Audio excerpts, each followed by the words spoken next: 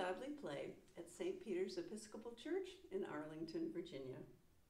Our story today is the Godly Play story of Joseph.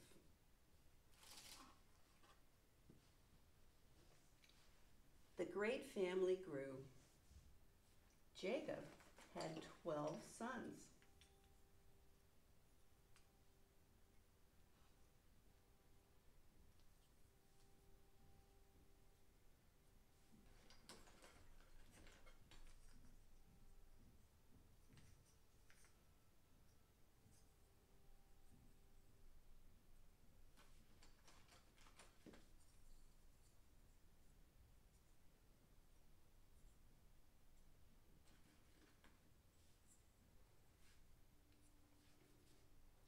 Jacob's favorite son was Joseph.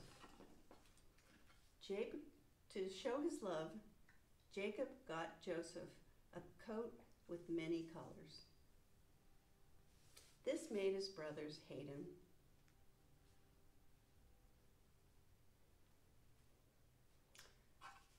Joseph had a dream that he and his brothers were out in the field gathering wheat.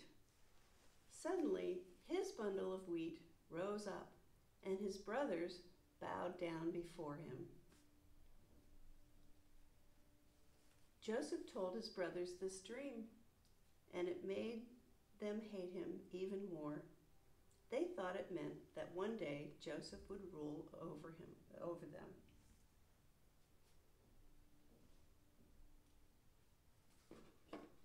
Joseph had another dream.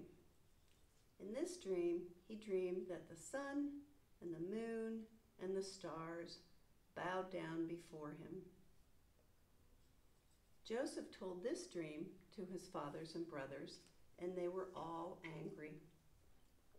It sounded like not only the brothers, but Jacob and his wife would also have to bow down to Joseph. One day, the brothers were out in the field watching the flocks. Jacob asked Joseph to go see how things were going.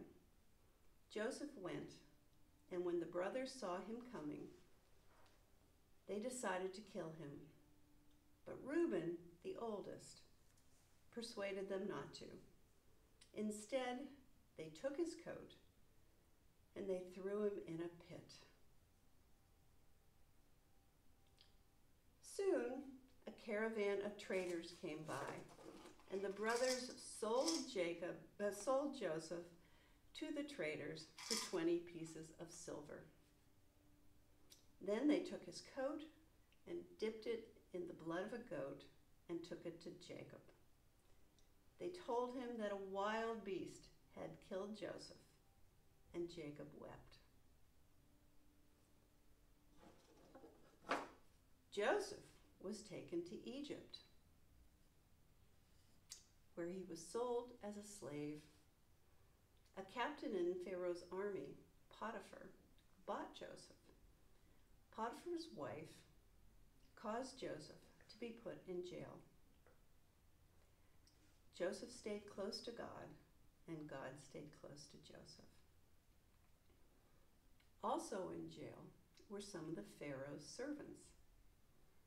The servants had many dreams and Joseph told them what they meant.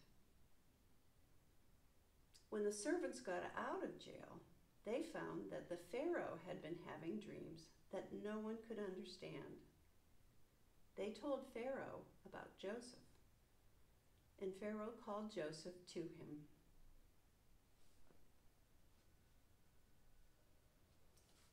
Pharaoh's dream had two parts. In the first part, there were seven fat cows and seven skinny cows. And the skinny cows ate up the fat cows.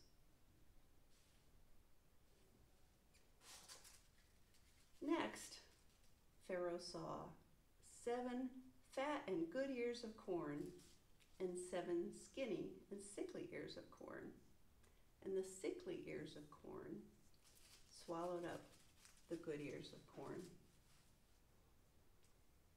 Joseph told Pharaoh that this meant there would be seven good years and seven bad years, and that Pharaoh should save up the grain in the good years so that the people of Egypt had food to eat during the bad years.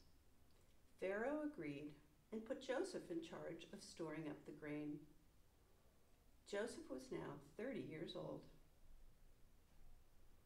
The lands near Egypt also had bad years, and the people in the lands near Egypt came to Joseph to beg for food. Jacob sent ten of his sons. When the brothers came to Egypt, they bowed before Joseph. They did not recognize Joseph, but Joseph recognized them. He kept one of the brothers, gave the others some food, and sent them home. Then they all came back, and this time Joseph told them who he was. He said, God sent me here to preserve life. Joseph and his family lived in Egypt for the rest of their days. When Jacob died, Joseph and his brothers took him home to be buried in the land of their fathers. Then Joseph and his brothers returned to Egypt, where one day their children would become slaves when a new Pharaoh forgot all that Joseph had done. Now I wonder, what part of the story did you like best?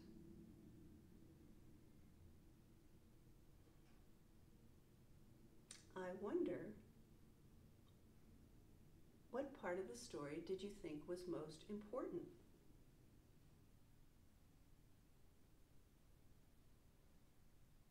I wonder if you think there's any part of the story we could leave out and still have enough story left.